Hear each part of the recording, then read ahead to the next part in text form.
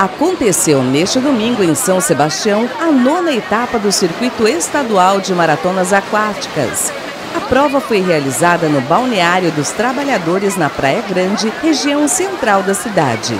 Contorna pelo lado esquerdo, sobe paralelo à margem lá da outra ponta, boia vermelha, contorna pelo lado esquerdo, aí vai descer da ponta de lá até a ponta de cá, paralelo à praia, até essa boia vermelha no canto, também contorna pelo lado esquerdo. E aí vem direto para a boia vermelha aqui em frente ao funil, que também é pelo lado direito. Atletas estrangeiros participaram da prova. Gostei muito da prova.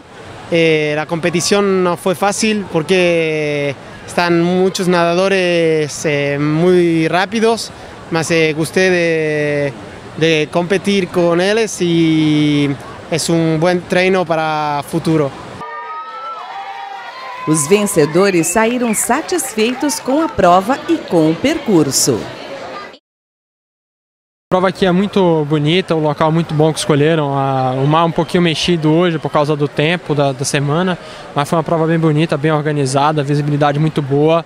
É uma prova realmente impecável essa que fizeram aqui, o local muito bonito, bem atraente para a prática desse esporte. E eu fico muito feliz pelo meu resultado numa prova dessa.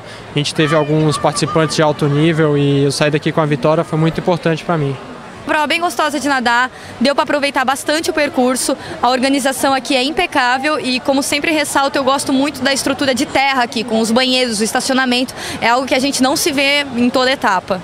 Prefeitura de São Sebastião, construindo uma cidade melhor.